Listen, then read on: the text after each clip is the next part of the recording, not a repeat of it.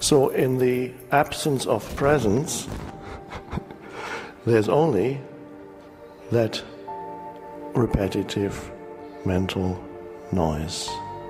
And part of that mental noise is the story of me.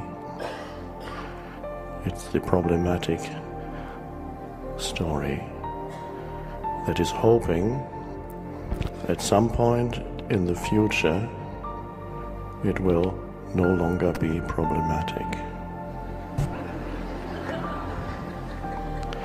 Not realizing that what it calls future has no actual existence except as another thought.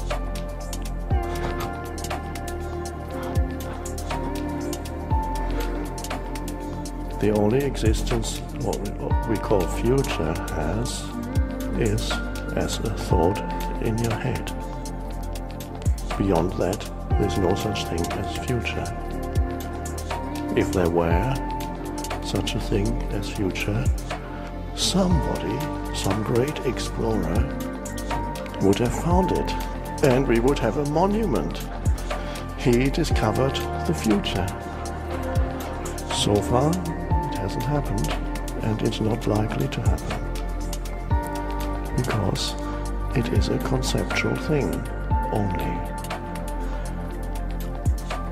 When the future comes, which is a thought, it can only appear in the space of your aware presence, the light of consciousness. It can only appear as the now, whatever form it takes in the space of now that you are something appears. That's the, the now, the form of now. So, no such thing as future. Future is a thought. And this also applies to the past. There is no past. Even if time travel were a possibility, you could only arrive ever in the now. You could never say, oh, now, now I'm in the past. You see, already the sentence doesn't make sense. Time, which is past and future, can only appear as a thought. Time, you can, if you were a, a police inspector and you were looking for a criminal called time, a, a very dangerous criminal because he goes around murdering people all the time and killing off everything. First deceiving them that time is going to get them where they want to get to.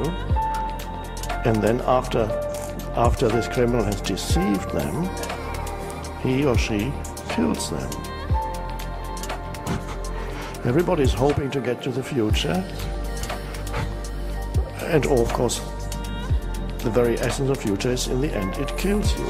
Time kills you.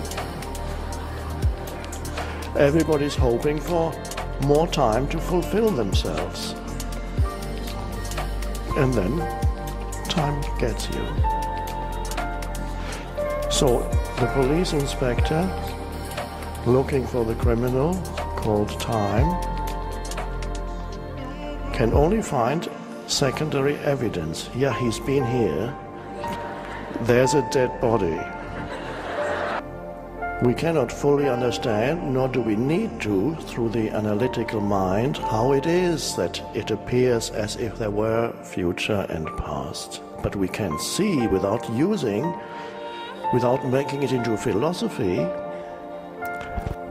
much in a much more simple way by simply looking and seeing all there ever is is now.